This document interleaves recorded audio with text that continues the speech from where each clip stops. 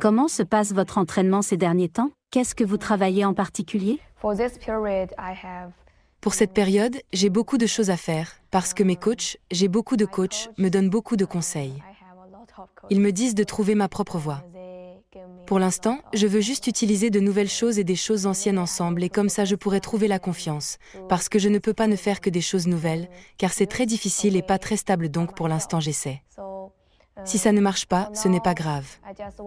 Pour les Jeux olympiques, je pense que c'est le dernier stade. Qu'avez-vous ressenti quand vous avez gagné la médaille historique aux Jeux asiatiques de Hangzhou et que vous avez obtenu votre ticket pour les Jeux olympiques de Paris? D'abord, j'ai pensé que j'avais de la chance. Je suis fière de représenter la Chine dans cette compétition. Je vais faire de mon mieux et je serai heureuse.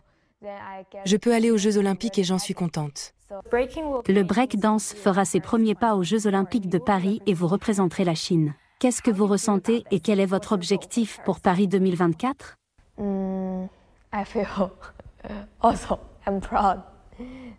Je me sens très bien. Je suis fière. Je veux montrer le style chinois sur la scène olympique, parce que c'est la première fois que le breakdance sera discipline olympique.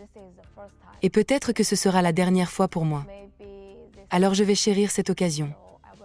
Merci à mon pays de me donner cette occasion. Je vais montrer le style chinois et mon propre style sur la grande scène, donc c'est formidable. Vous avez commencé les compétitions internationales seulement en 2022 vous avez eu un impact immédiat sur la scène en remportant deux compétitions européennes en 2022 et ensuite vous avez terminé première au podium des Jeux asiatiques de Hangzhou.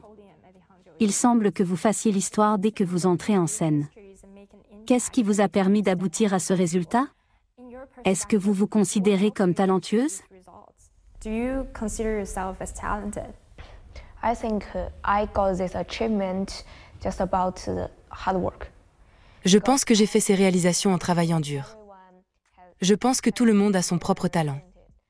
Mais pour moi, je pense que lorsque je m'entraîne, je pense à beaucoup de choses et j'aime vraiment le breakdance.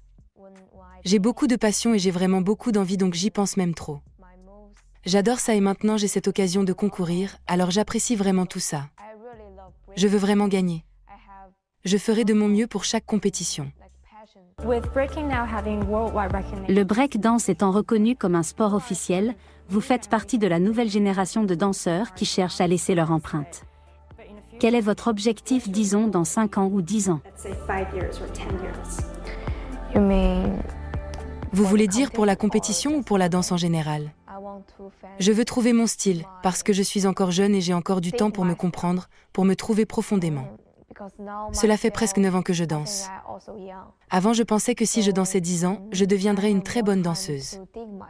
Mais maintenant, je sais que mon moi de maintenant n'est pas mon moi final. Je veux juste rester moi-même, toujours. Je veux choisir différentes attitudes et être moi-même au moment présent. Tout le monde change, tout le monde trouve de nouvelles inspirations, mais ce qu'il faut, c'est rester soi-même et faire ce qu'on aime.